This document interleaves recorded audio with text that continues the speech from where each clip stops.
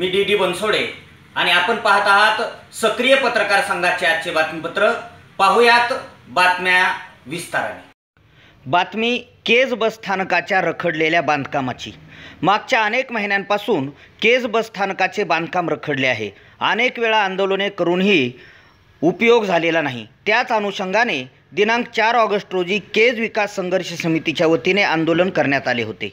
आणि त्यावेळी सतरा सप्टेंबरपर्यंत बांधकाम पूर्ण करण्याचे लेखी आश्वासन दिले होते. मात्र एक महिना झाला तरी काम अतिशय संथ गतीने चालू असून वेळेत काम पूर्ण होण्याची शक्यता दिसून येत नाही.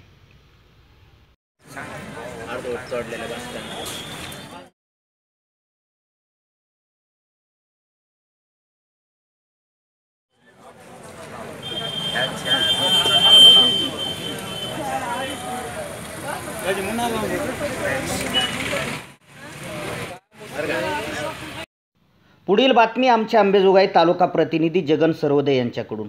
तुर्कमेनिस्तान येथे होणाऱ्या पाचव्या एशियन इंडोर गेम दोन हजार सतरामध्ये कुमारी पूर्वा दीक्षित हिची निवड झाली.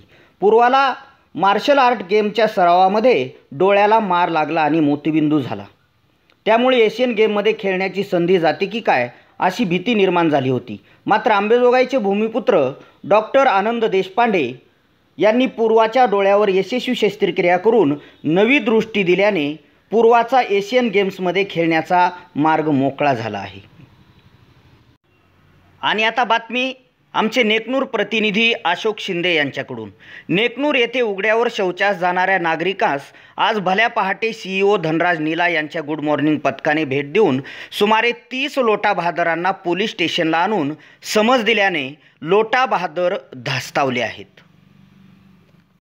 वळूयात पुढील बातमीकडे. बातमी आहे महावितरणच्या अंधाराची. तालुक्यातील येवता येथे मागच्या एक महिन्यापासून विद्युत पुरवठा बंद आहे. ऐन गौरी गणपतीच्या सणांमध्ये संपूर्ण गाव अंधारात असल्यामुळे सणाच्या आनंदावर विरजन पडलेले आहे. महावितरणकडे अनेक वेळा तक्रारी करूनही महावितरणच्या डोक्यात आणखी प्रकाश पडलेला नाही. त्यामुळे ग्रामस्थ आंदोलनाच्या पावित्र्यात आहेत. पुढील बातमी बस वाहकास झालेल्या मारहाणीची. बस चालक व वाहकांना होणाऱ्या मारहाणीच्या घटना वाढतच चालल्या आहेत. मागच्या आठ दिवसांपूर्वी कळंब कालबीड आणि आज केस तालुक्यातील कोलेवाडी येथे वाहकास मारहाण झाल्याची घटना घडली असून वाहक नामदेव तिडके यांच्या फिर्यादीवरून बळीरामा बिक्कड यांच्या विरोधात केज पोलिसात गुन्हा नोंद झाला आहे.